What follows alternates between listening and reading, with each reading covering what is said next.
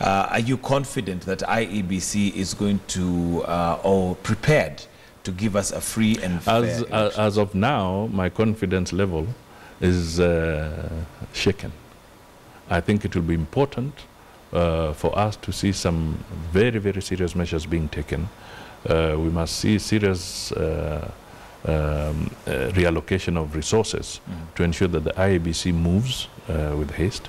We must see uh, a more credible program of the release of IDs uh, for us to uh, start uh, having getting a sense of feeling that they will do what they have to do uh, properly. We should not be uh, uh, hoodwinked into believing that because they have conducted a by-election here or Successfully. and another There. one there, uh, that that is okay. But when it will come to the broader thing, which they have done before, okay, in terms of but you can see people are still uh, uh, jittery. Um, and, and there could be a lot of things that they, they, they need to, to bring out. They, will have to train their, their, their people again, their agents, I mean, their, their, their officers afresh in some areas. Uh, these, these are fundamental issues. Now, They have, they have that elaborate program. They want about 20 billion uh, this year and then 19 billion uh, next year. Now, all this is futuristic. If you don't give them money now, how are they going to procure the equipment they want? Mm. You want them to do it at the last hour, and then we'll have the same kind of scenario that we had Now, in the giv- BVRs. given, given our history and the fact that we would not want to go back to 2007, 2008, and what happened, of course, IEBC remains very critical uh, that Kenyans generally have confidence in free and fair elections. What would you, as Musalia Mudavadi, say needs to be done so that we have that uh, averted, so that we don't have people who feel like we were ill prepared and like there's foul play? I think, I think uh, as I said, first of all, fund it properly. Um, secondly, you will have to deal with the, some of the concerns people have raised in the context of uh, the commissioners. Uh, I think one needs to come out clearly. Are they guilty or not guilty? Uh, is due process being followed to ensure that that, uh, that particular question Is is, is, is also answered? Because all these uh, are going to play into the confidence measures. In 2007, um, in the build up to 2007, you will recall that uh, one section of uh, uh, the, the government, or the government of the day at that time, did not want to go through certain processes of ensuring that commissioners are being named through a consultative process.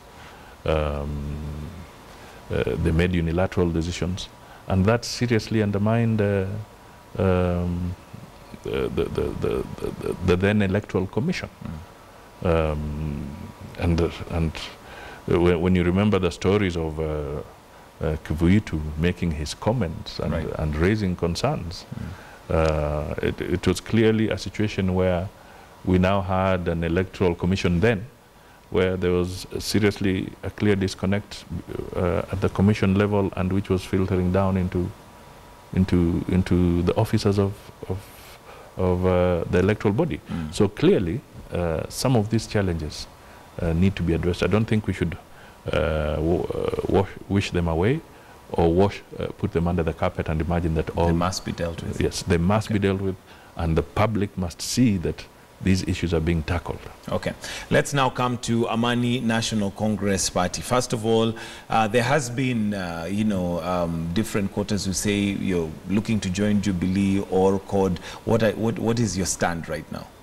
Um, I said some time back that that is a, a, a tired script uh, written by a very tired author.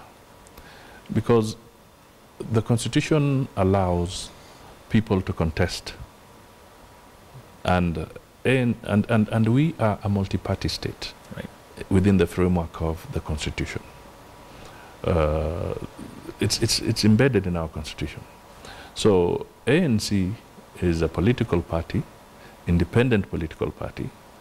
Uh, we got registered in July uh, last year, uh, where we got the full registration. And it's on that basis that we are building uh, our outreach uh, in preparation for the general uh, election. In 2017. Yes. Mhm. The issue of uh, political uh, affiliation and what have you is not to be answered today. That is uh, uh, something for another day. Because what is important is that we want to create our space, we want to win our supporters, uh, we want to prepare to contest effectively in the general election. And I want to contest for the presidency. That is the statement I've said, and I'm saying it again.